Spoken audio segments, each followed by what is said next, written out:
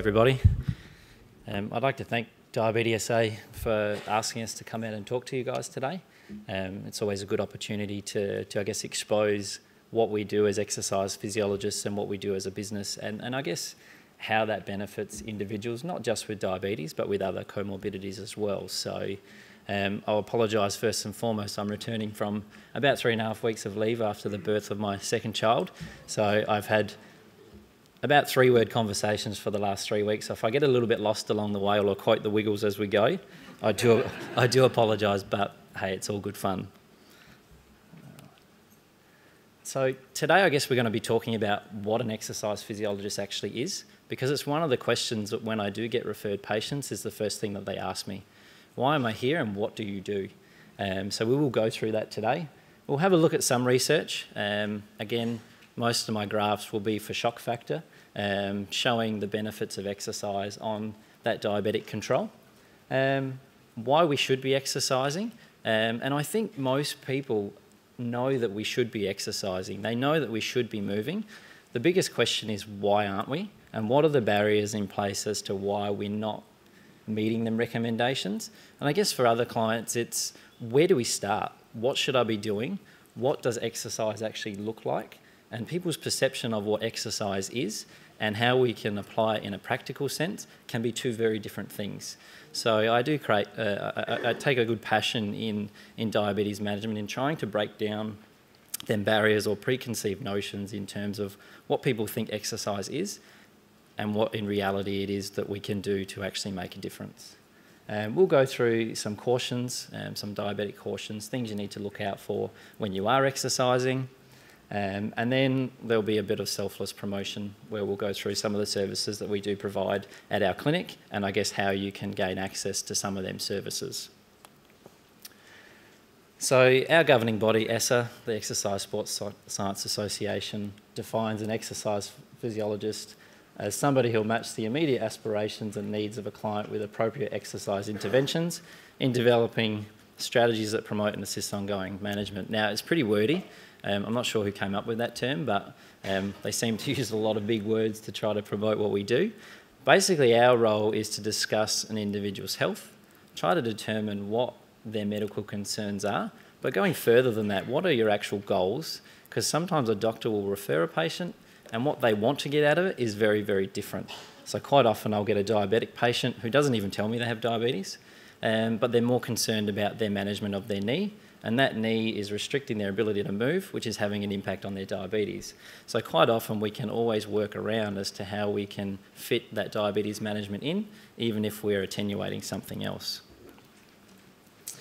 So basically we, we spend four years at university um, having a look at the body systems, we look at the research um, and how that impacts um, an individual. Um, it, it, focuses predominantly on physical activity, but marrying up them body systems. So how does our body work and how does exercise and activity have a positive influence on this and in some cases a negative influence. Um, we definitely look at behavioural sciences as well.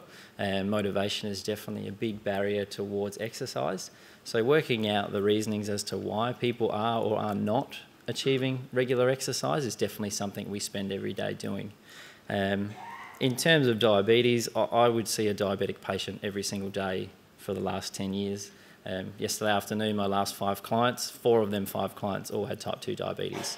So it's very, very prevalent and it's something that we deal with every day. Um, but as I said, quite often they come in with many, many medical issues.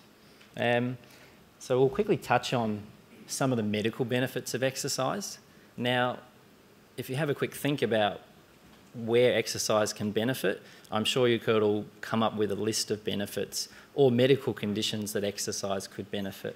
Um, and if we pop to the next page, and this is by no means every, every um, issue that we can work with, um, but it's quite an extensive list. Now, this list can be twofold. Obviously, these are the things that exercise can have significant benefit with, um, but they're also the things that we see a type 2 diabetic or a diabetic patient in general having one or more of these issues. So, you know, if we raised your hands now as to who had diabetes and more than one of these other conditions, um, I'm sure most of the room would probably put their hands up. So we're not always just dealing with diabetes on the surface. There are a number of other reasons as to why we need to be exercising and be active. and they all interrelate. So, blood pressure, weight management, cholesterol all tend to be things that are associated heavily with diabetes. We don't necessarily know which one's causing the other, but we know that they all tend to work within that same construct. In terms of diabetes specifically, it does put a lot of stress on our systems. So, over time, uncontrolled type 2 diabetes can put pressure and cause other complications. So, quite commonly, we see our eye system. So, we, we often see people with retinopathy and issues. And retinopathy is one of the leading causes of blindness in, in individuals under the age of 60. So, uncontrolled diabetes can be quite a serious concern. Um, on the renal system or the kidney system, so having this higher concentration of blood sugar levels, potentially associating that with hypertension at the same time, causes our kidneys to work much, much harder than we desire, and that can lead to varying levels of kidney failure. Um, unfortunately, the leading cause of death for a diabetic is actually renal failure. Um, so it's quite a significant issue, and once we start eliciting these symptoms, we can't actually reverse. So if you're in stage one or two or three of renal failure, we can't actually backtrack from there. All we can try to do is try to prevent that conditioning from worsening. And ideally speaking, if we see you early enough, we try to prevent that from occurring altogether. And that's probably one of the reasons I am relatively passionate about diabetes. When I get a newly diagnosed type 2 diabetic, I'm aware that if we can get them lifestyle changes and interventions in early enough, we can actually modify and reduce the risk factors for some of these things occurring. So that's probably one of the most important factors. Um, other issues, we do see approximately a six time increase in the risk of heart failure or, or a heart attack if you are a type 2 diabetic. Um, so, quite often, these risks are, are really, really apparent. So, what do we do about it?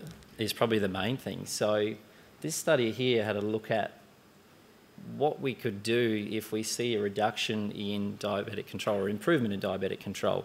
So everybody here would probably be familiar with the HbA1c testing protocols.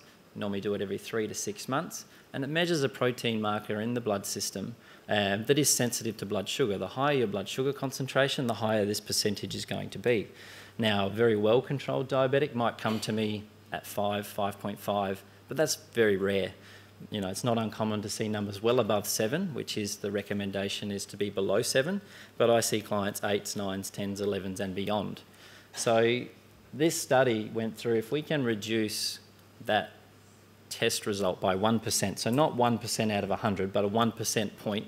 So if you were an 8 down to a 7% on your HbA1c, we actually see significant reductions in um, some of these comorbidities occurring, and some of them are quite significant. So, peripheral vascular disease, approximately 40% reduction if we can get a 1% reduction point in your HbA1c.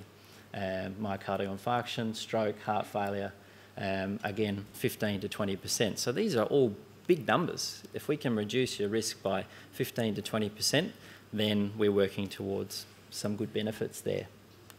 Importantly, how do we go about it? So currently, um, we look at a multidisciplinary approach to diabetic care. So your first protocol is typically going to be a medical practitioner in order to diagnose it and determine as to whether you require medication and things like that. And that's normally where it starts. The GP may decide as to whether you need to go on to medication immediately or whether lifestyle intervention is going to be appropriate in this case. Um, that's where you might see myself in terms of exercise physiology, or you might see a dietitian, um, even a diabetes educator, to improve your understanding of how diabetes works, um, to try to reduce the blood sugars prior to medication, or at least help their medications work more effectively. Um, if quite often, if we don't access all of these, we don't see great success. So quite often that client that's been under their GP for 20 years, and their GP may have thrown the idea that you should be exercising or do this, but no one has accessed these systems, we tend to find that it's a fairly slippery slope in terms of that diabetic control. Quite often we go from oral hypoglycemics to increasing that dosage by two or three times, potentially onto insulin. So we see a pathway of increasing medications but the blood sugar control isn't necessarily improving. It's either staying steady or it's continually getting worse. So, not really winning the battle in that sense. So, we definitely need to do a little bit more about it. so why should, we, why should we be exercising um, in, in regards to diabetes management? Um, and I guess I put that picture up because age isn't a limit. This gentleman was well into his 90s and he was still attending our clinic twice a week um, and still maintaining good benefits associated with this. So, in terms of specific benefits from a diabetic perspective, sugar uh, reductions in blood sugar levels is obviously the first and foremost. So, our first talk and our second talk today, our third talk today, are going to be talking about how to reduce that sugar intake or things going into the system our job as exercise physiologists is to get it out of the system once it's already there. Okay, so we need to get people moving, and that exercise is very beneficial in bringing their blood sugars down. And in many cases, it's as effective as your medication. So it's quite powerful in, in, in how it works. Um, obviously, improving fun function and fitness. Quite often, my clients come to me very deconditioned, quite concerned about exercise. Often, they come into my gym setting and walk into my office and, and they start to panic about why, why am I in a clinic setting? Why am I at a gym? What has my doctor done to me? And we tend to spend that first session trying to just break down them barriers as to we do have that facility available, but there's heaps of things we can do at home that are going to have a positive influence as well. Weight management is definitely important. Um, we know that reductions in weight are going to have a significant improvement on your diabetic control as well. Reducing blood pressure, improving your cholesterol levels, potentially having a benefit on reducing um, heart attacks moving forward, which is very important. Mental health is probably a very understated concern, and, and many people that do have diabetes will suffer from mental health concerns as well. So, depression, anxiety, feelings of helplessness, and not being in control of their condition. And exercise is definitely a way where we can start to empower our clients into taking control of their diabetes rather than waiting for the GP or that medical practitioner to increase that dosage, giving you ways and strategies to help reduce your sugars. Confidence and self esteem as well. I was chatting to a gentleman earlier today um, who'd suffered an injury, didn't really know where to start his exercise. Coming to us and having a chat has sort of put him back on a pathway now of exercise can be quite manageable. It wasn't what I thought you would get me to do, but it was very manageable, and I'm already noticing an improvement. So that gentleman, I hope, will continue to, to make improvements with his um, fitness and function and his confidence, and we should see good improvements with that. So I guess when we look at exercise, we need to separate some of the acute benefits of exercise and the chronic long-term benefits that we get associated with exercise. So when we go for a walk or do any form of exercise, we're actually getting our muscles active. So that's the first port of call. So I like to use the analogy of a car. So when we eat, we bring fuel into the system, but if we leave that car parked under the garage from then, the fuel's not going anywhere. So it's going to continue to sit in that system until we go for a drive. If we only drive that car once a week, that fuel is going to last a long time. The difference between that analogy of the car is that then we have lunch. So we're adding more fuel again, and then we have dinner, and then that cycle continues. So if we're not forcing that system to actually utilize the sugars that are in our blood system, we're going to run into significant difficulties in that respect. So the muscle starts utilizing that stored glucose once we start moving. Okay? Now, quite often in the diabetics case, particularly type 2, we see an issue where insulin is trying to do its job. So often we see blood sugar levels for a fasted individual between four and six. Okay, diabetics might be a little bit higher than that. But after we eat, we shouldn't see sugar levels raise more than that 8 millimole level, and we quite often see much, much higher levels than that. And that's where we get that breakdown in that system. So insulin at that point is released. It then binds with the muscle to get rid of this excess sugar. If the sugar is, is full in the muscle system, it just gets rid of it. It just burns it off as heat. Now, when there is a breakdown in that system, that communication is not there. So the blood sugar levels continue to rise, and the muscles are a little bit lazy and don't really want to do their job at the same time. So if we force that system, like anything, whenever you have a problem, if we actually communicate about our problems and actually get both parties to talk about what's going on, we get improvements.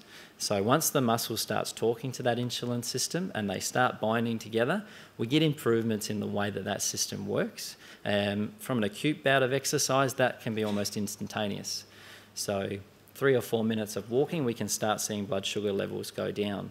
If we continue doing that exercise for a long term, eight weeks, 10 weeks, 12 weeks, we actually see that system start to improve which is very different to how your medications will work. So, oral hypoglycemics will reduce your blood sugar levels in a different way um, and working more at how the, the sugar is released into the blood system.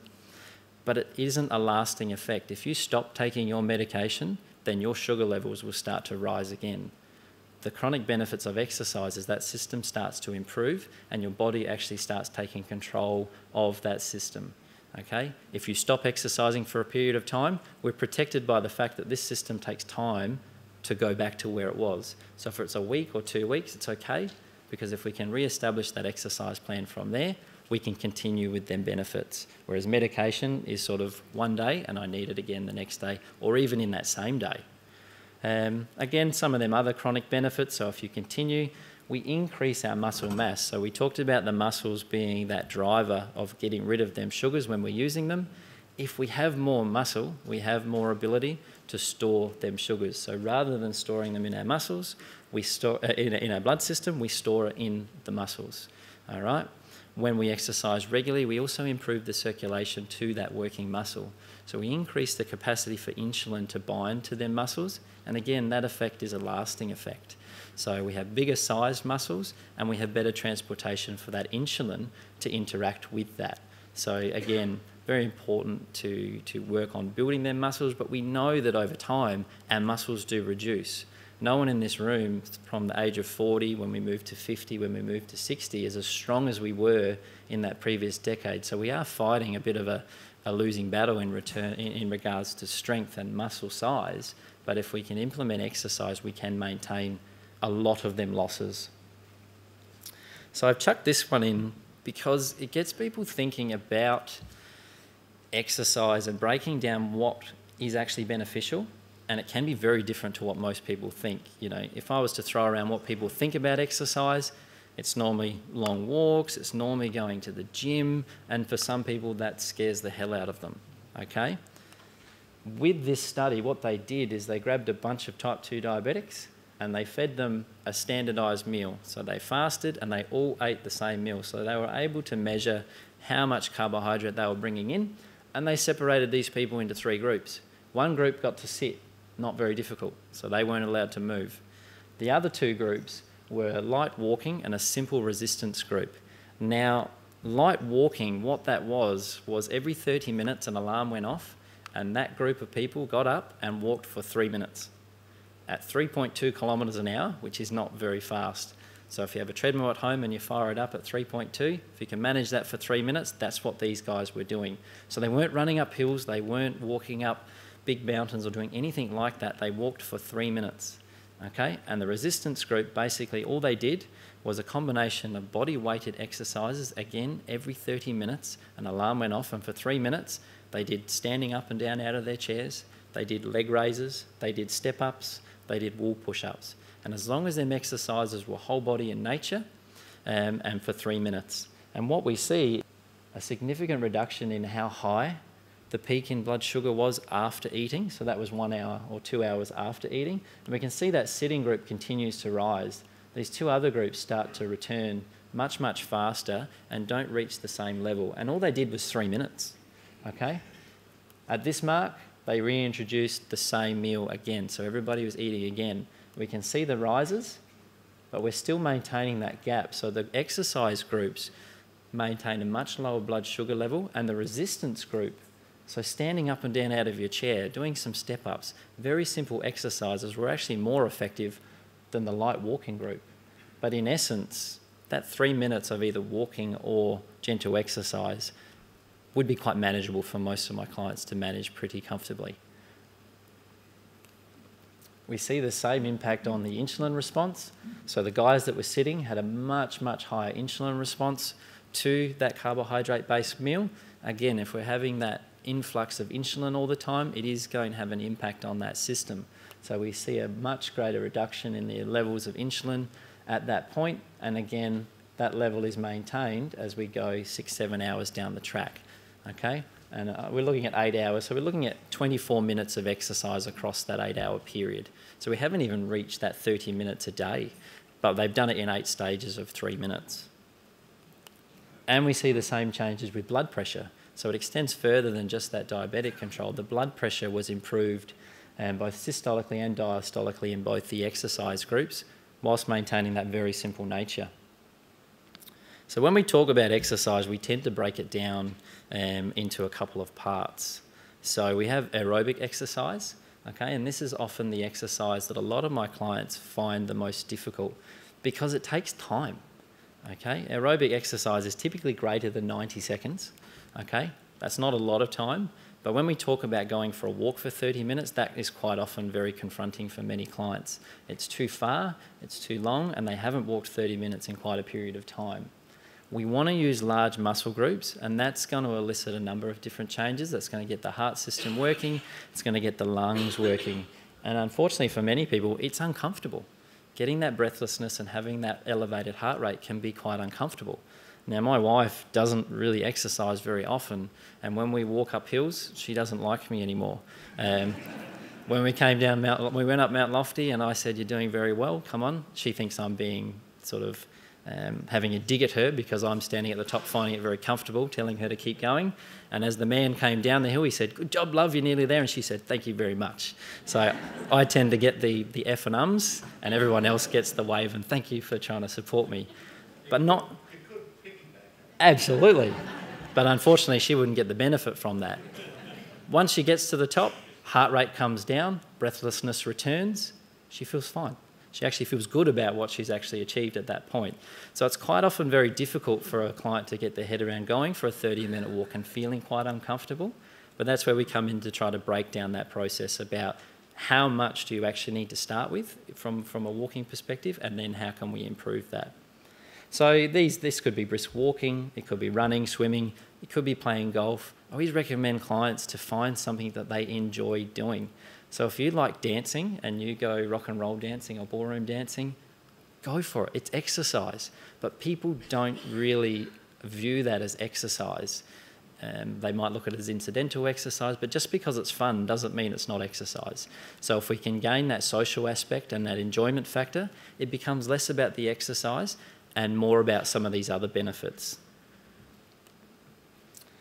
All right, so something that I probably bore my patients with every session is talking about step counts. Okay, now most people would have been exposed to step counts at some point, but they have a significant impact on your health. All right, now this particular study again worked with a cohort of type 2 diabetics who were averaging around 3,000 steps. Now, 3,000 steps is probably a typical day for an office worker who's travelled to work, moved around a little bit. Some of my clients who stay home will struggle to achieve 3,000 steps in a day. All right.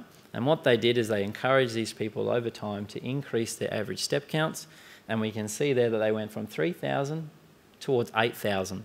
So quite often the recommendation is that we need to achieve 10,000 steps per day as a minimum. Now these guys still didn't achieve the 10,000 steps, but if we have a look over here, what we see is significant benefits in their blood profiles. So we see HbA1c is reducing by approximately 10%, blood glucose is similarly, cholesterol, breaking that down in good to bad, so uh, sorry, bad, so reductions in bad, which is good, and increases in good cholesterol, which is good as well, okay, and the floating fats all reducing. And all they've done is increase their daily walking levels, and most of this is done incidentally. So these clients haven't been walking for 30, 40, 50 minutes in one hit. What they've done is they've done practical things. They've parked the car further away and walked for five or 10 minutes. They've got off that bus stop one stop early. When they've gone to the supermarket to get milk, they've walked up and down every aisle in order to just grab that milk. So increasing by five or 10 minutes, if we multiply that by two or three different tasks, can definitely equate to that three to 5,000 step mark. And again, we haven't even started doing any conventional exercise yet, but yet we're seeing significant improvements in the way that these clients are responding. So for me, the first task with my clients is working out, are you moving enough in your day? Because if we're not, even bringing that client into the gym once a week might not be posing the best benefit. Okay, what you do every day is going to be the paramount improver. So that's what we need to look at. And we quite often work with pedometers. So we see people with activity trackers and pedometers, and maybe many of you in the room already have them. um, and we use them to determine how much exercise or incidental activity an individual is doing.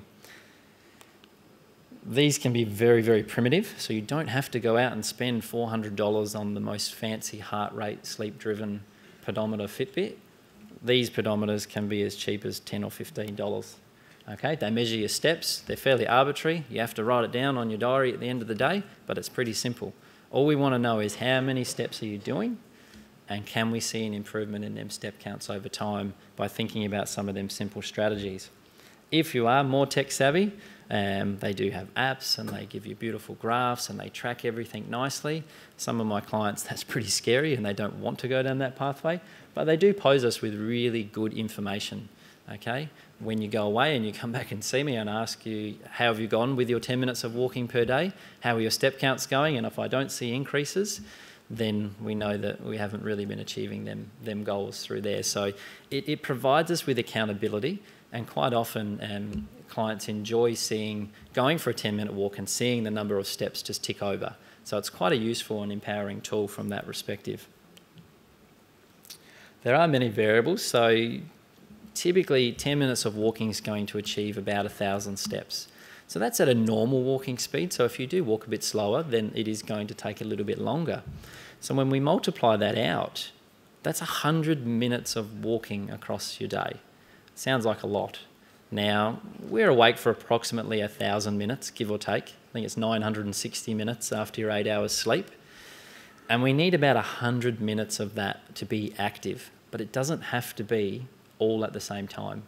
So 10 lots of 10 minutes across your day, going out to the garden, going out to the shed, walking to the letterbox, all of these small things can have a profound impact on building them step counts.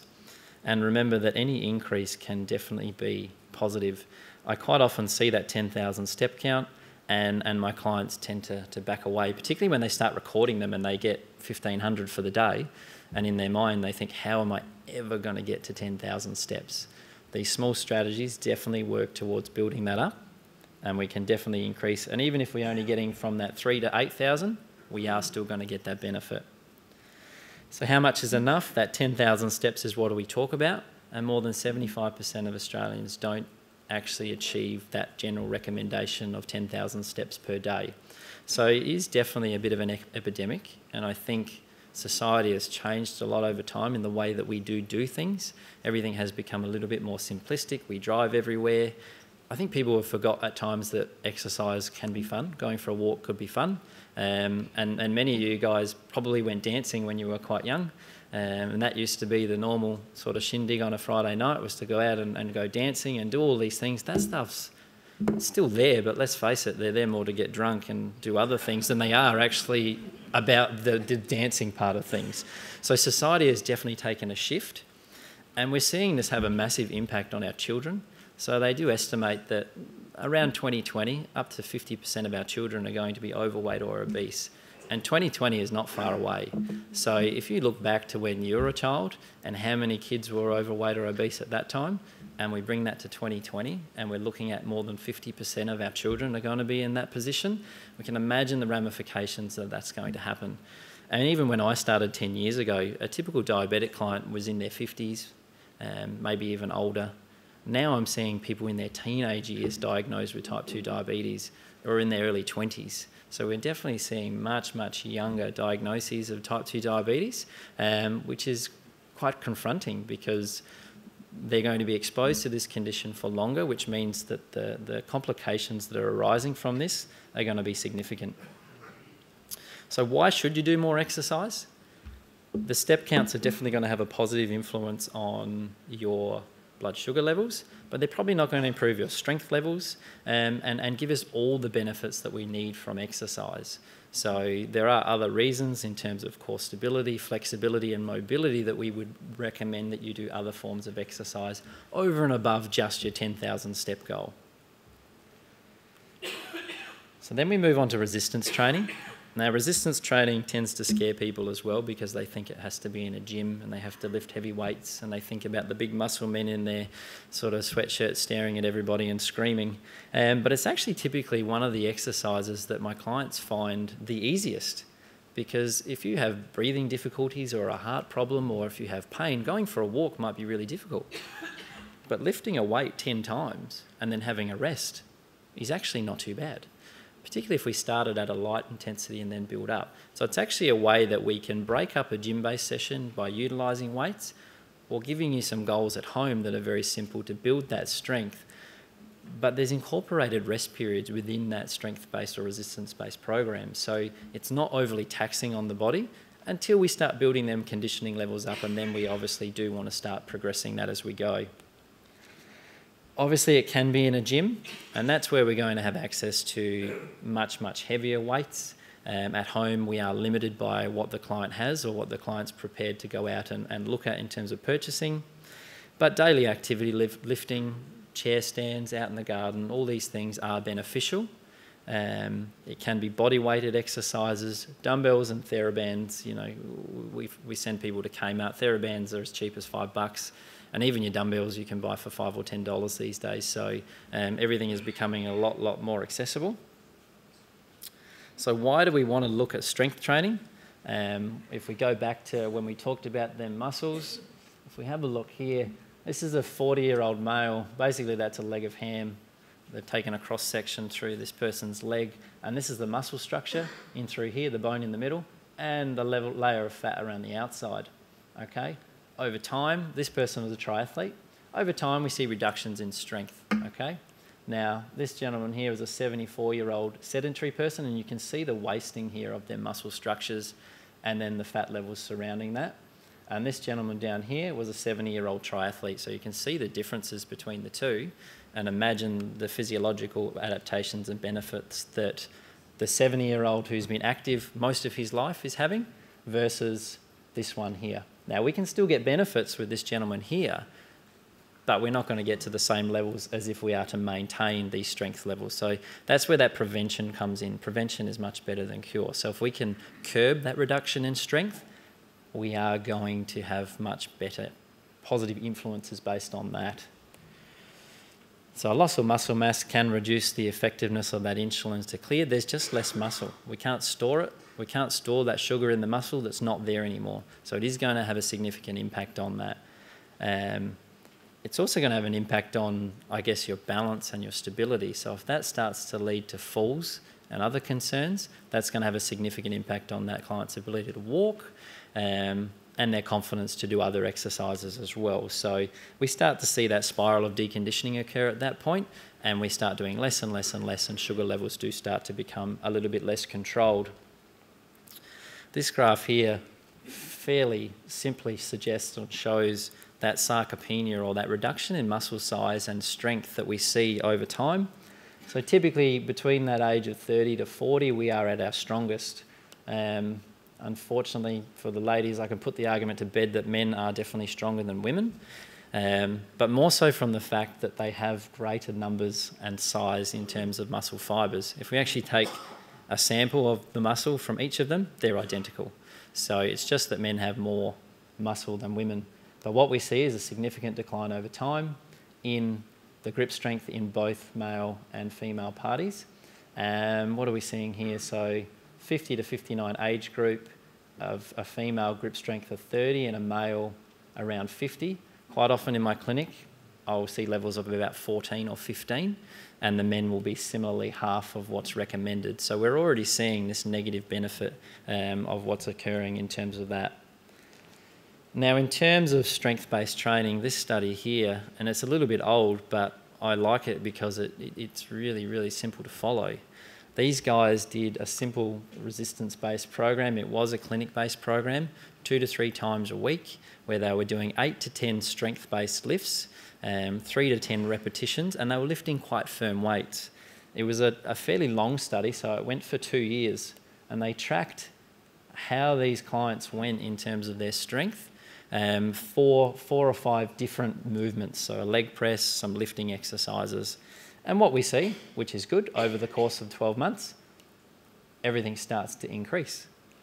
Then all of a sudden, everything starts to decline.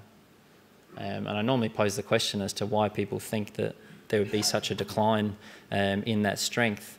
And the typical answer is 52 weeks in a year, it's now Christmas. that program, that program stopped for that four to six weeks over that Christmas break. And what do we see? Slow decline in the strength. Over that four week period, though, we didn't return to baseline. So it wasn't a complete waste of time. You know, that four weeks definitely had an impact. So when these clients come back to the gym and I see it every day, I've been away for three weeks, man, I really feel my session today. It, it feels quite hard. Two weeks later, they're back to normal. So what we see is that we do get a decline. So adherence is obviously really, really important when we look at this exercise. Um, but we do see improvements over time. So how to get improvements if, if we're looking at resistance training, what's practical? We would recommend at least two sessions per week. Okay, so eight to 10 strength exercises, 10 to 15 repeats, and we do need to lift quite firm weights when we're working with them.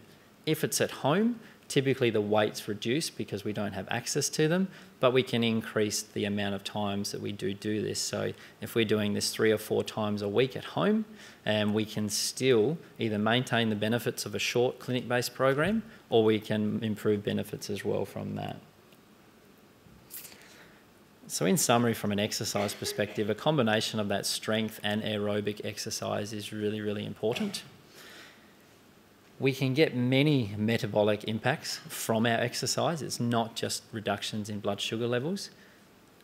And as we already went through, most people have more than one comorbidity at the same time. So, if we're gaining multiple benefits across systems, um, then it's definitely improving our function so that regular sustained physical activity can reduce that HbA1c up to that 1% level. And we saw earlier that graph that showed the reduction in comorbidities or risk factors when we get that 1% risk factor. So what are the typical guidelines currently in terms of exercise? It's a little bit more than general. So the general recommendations for exercise is 150 minutes of moderate intensity exercise. When we look at a diabetic population, it increases. So we're looking at 210 minutes of exercise across a week. So that equates to seven lots of 30 minutes. So if we're able to do a 30 minute walk every day or some combination of is where we're going to see them benefits over time. If we want to promote weight loss, the number increases again. So we're looking at people doing greater than 250 minutes a week of exercise and, and, and it's not uncommon for me to see somebody in my clinic who's doing zero. So no exercise at all from a structured perspective during the week. So just building them levels is fundamentally quite important. So if we're going from zero towards 100, then we're definitely working towards them benefits as we go. If we can increase the intensity, the duration of exercise we do can reduce. So if you can work really, really hard and for short bouts of exercise as well, then that will, will reduce that, that that length of time exercising. And we recommend two resistance training sessions per week as well. And then resistance based training sessions do count in that 210 minutes. So if you spend 30 minutes exercising at a gym, that counts towards that 210 minute goal. So clients that are walking three to four to five times a week plus two gym sessions quite often will tick off that 210 minute um, of exercise per week. Um, in terms of strength, we recommend not more than two consecutive days, um, but also with your walking, you know, we want it to be regular. One study I was reading suggested that the 30 minutes every day, but it also looked into the effectiveness of one hour. If you double the dose, do you double the benefit? And the answer was no. But what it found out that you could actually go for a walk for one hour every second day and achieve the same benefits as going for a walk every day for 30 minutes. Now, that's particularly important for people who are working and don't necessarily have the time to do exercise every day. If they can do a little bit more every second day, we still get similar benefits.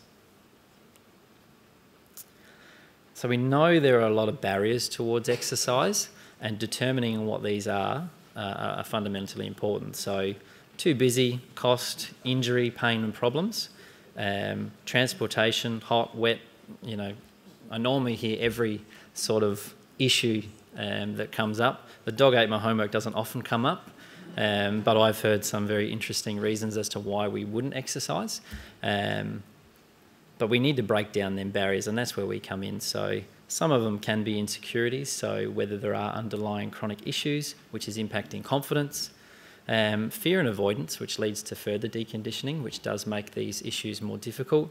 Um, a lot of my clients will say I'm too old, too old to exercise. You know, my, my good days are gone. I can't get any benefit. And the research is pretty poignant in the fact that it suggests that it's never too late to start exercising. And even if it is simplistic in nature, we're still going to get benefit. And what's high intensity to me will be very different to what's high intensity to an individual who's not doing exercise. So they can still achieve really good levels, even if that seems like it's simplistic. So I would always recommend starting on that general activity. You know, if you don't have a pedometer or activity tracker, have a look at something like that and start recording that and start working on the days where you're most efficient. So if you've got 8,000 steps for four days and for one reason or another that one day is 2,000, that would be the day that I would, uh, would target your exercise to be on the day where you're not doing as much exercise. Um, and the lifestyle change is definitely making a massive improvement. So parking that car further away. So very simple strategies to work through there. Setting achievable goals, I think, is really, really important clients often come to me with goals that are somewhat unrealistic, and particularly when it comes to weight loss. Um, they often quote me numbers that were when they were 18 years old and they haven't been to that level for a long, long time, or their time frames. You know, I want to lose 20 or 30 kilos in the next six months. So they're really just setting themselves up for failure. And if we don't address that in the short term, we're not really going to succeed as we go through. All right, I'll skip through that. So we know that that adherence is specifically important, and that's where the EPs sort of come in in that respect. So I think we've got a couple of minutes. What time was this? A couple of minutes. So I'll just quickly go through some of them precautions. So with hypoglycemia, we do tend to see this with insulin-dependent diabetics more so than our oral hypoglycemics. But if your blood sugar levels are at 5.5 and you're about to go into exercise, we would typically recommend you bring on a small snack to try to avoid that hypoglycemic effect that we're going to expect to occur. It's not overly comfortable and you're walking down the street and you're having a hypo. Most people will think that you're drunk and just leave you there rather than actually give you some help um, avoiding insulin peaks is quite important as well. So if you do take insulin, particularly rapid insulin, um, avoiding that 60 to 90 minutes immediately after usage, because that's when your insulin is going to be doing its most effective work. And if you add exercise on top of that, we're getting a double positive and it will typically lead to hypo type issues. So we can strategically add that exercise in to one, get the benefit from the insulin, and then to utilize exercise at a later date to continue with that process. Um, hyperglycemia, so if the sugars are too high, that can cause some complications at the same time. Um, so we do modify or take more caution when, when sugar levels are 17 or above, particularly if ketones are present.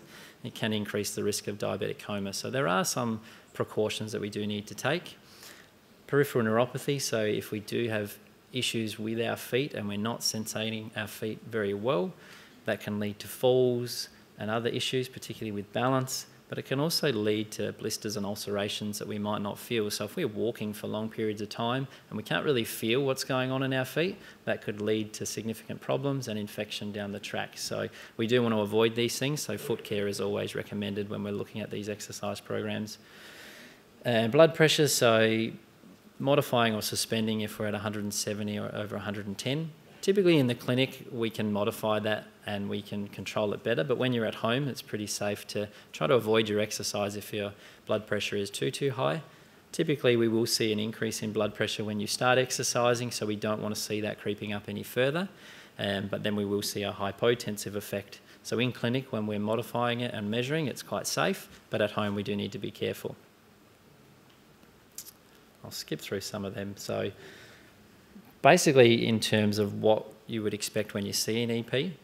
Okay, they're going to go through an initial consultation with you, and they're going to go through your medical history, any of your feelings, thoughts in terms of exercise. What are you currently doing? What's been working and what hasn't working? Um, work out what you like and what you don't like, and based on these things, try to develop a plan that's going to work for you. Okay, we typically roll through assessment measures, so we want to look at your height, your weight, your waist measures. We want to know what your HPA levels are, how much insulin you're taking. All of these things become important because as we move forward down the track, we want to see if the intervention is actually having a positive influence on what we're doing. Obviously, we go into the prescription, so that can range from as little as three minutes of walking a day to coming into the gym three times a week. So it is really going to depend on the client as to what we decide to do, um, and it's quite often going to be something that the client is going to be, you know, enjoy doing, or at least be open to work towards that. And obviously, we're also there for longer term reviews. So once we set these plans, we want you to come back, have a look if they're working. If they're not working, why aren't they working? Um, have we given you too much? Have we not given you enough exercise? Um, and how can we develop strategies to improve that moving forward? So this was a client that we've been seeing fairly long term. So 2010. Now we can see with this client, uh, they've been coming to the gym once a week. They've been utilising some services with Medicare every calendar year, and we can see that this person's reduced weight, not by huge amounts, four kilos, which is still good, but they've been able to maintain that over that period of time. But more importantly, they've significantly improved their fitness from a measure of 15, which is really quite low from a fitness perspective, up to 25, um, which is a huge, huge improvement. Typically, we recommend about a 15 to 30% improvement with structured exercise, and this person has gone well above that. We can also see improvements with their strength, both upper body and lower body as well. So you can imagine the functional benefits moving forward, not only in their diabetes, but in their day to day life. So, how do you go about accessing EP and even dietitians um, to aid you with that? So, Medicare do provide some limited services for people to access um, under the Enhanced Primary Care Plan, and that'll give you access to five sessions with an allied health professional. Now, you can split them up and see an EP, a dietitian, a diabetes educator, and get a multitude of knowledge. In regards to further um, services, type 2 diabetics um, are actually entitled to another program with that, which is this eight week diabetes group sessions. What that allows us to do is to run an assessment and then to actually come into the gym for eight sessions and actually do some exercise. Now, for anybody who's starting out, that's a great way to start because it allows us to work through that eight week program, building that exercise plan with the information that you're giving us from a week to week perspective. So that's a really positive way to get started. And I find that many people, almost 50% of people, continue on with their exercises after they've accessed them services. Um, we see veterans as well, so if you do have Department of Vets, we can see you funded through that privately as well. So if you can't get a referral from your doctor, we can see you in a private setting and utilise your private health. So you do have a multitude of options. Um, most recently as well, we've got the NDIS system. So anybody that does have funding through that process can also gain access to exercise physiology as well. So we see work cover guys as well. So in terms of our clinics, we have four clinics across the metropolitan area. So we've got the western suburbs on Port Road, we're in Tea Tree Plaza, and we've got a clinic down in Noarlunga, and then one also in Edwardstown. So we do cover a fairly broad metropolitan sort of area. So, all right. And I do have some information and brochures and things outside if you do want to have a look at them. Um, other than that, thank you.